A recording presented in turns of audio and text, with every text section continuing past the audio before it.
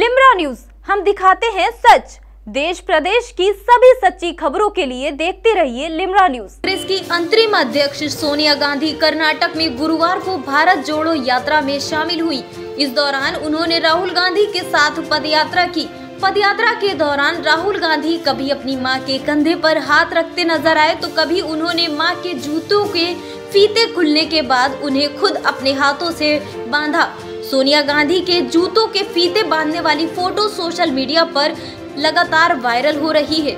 लोग राहुल गांधी की जमकर तारीफ़ कर रहे हैं। शशि थरूर ने भी इस फ़ोटो को शेयर किया। उन्होंने लिखा, माँ तो माँ होती है, उनका कोई तोड़ नहीं होता। कांग्रेस की भारत जोड़ो यात्रा दो दिन के अवकाश के बाद आज फिर कर्नाटक के मांडिया ज़िले में राहुल गांधी के नेतृत्व में शुरू हुई। यात्रा में पहली बार कांग्रेस अध्यक्ष सोनिया गांधी भी शामिल हुई। यात्रा के दौरान सोनिया गांधी के जूते लूज होने पर राहुल गांधी उन्हें बांधते हुए नज़र आए। इसका फ़ोटो व वीडियो सोशल मीडिया पर लगातार वायरल हो रहा है। कर्नाटक कांग्रेस अध्यक्ष व राज्य के पूर्व मंत्री डी के शिव कुमार ने इस मौके पर कहा कि विजयदशमी के बाद अब राज्य में कांग्रेस की विजय होगी। हम राज्य में सत्ता में आ रहे हैं और भाजपा की दुकान बंद होने वाली है। हमें गर्व है कि सोनिया गांधी राज्य की सड़कों पर उतरी हैं। कर्नाटक में आज भारत जोड़ो यात्रा पांडवपुरा से नागमंगला तालुका तक जाएगी। सोनिया गांधी ने कल दशहरे पर मैसूर ज़िले के एचडी कोट विधानसभा के बेगुर गाँव में भीमना कोली मंदिर में पूजा अर्चना की थी।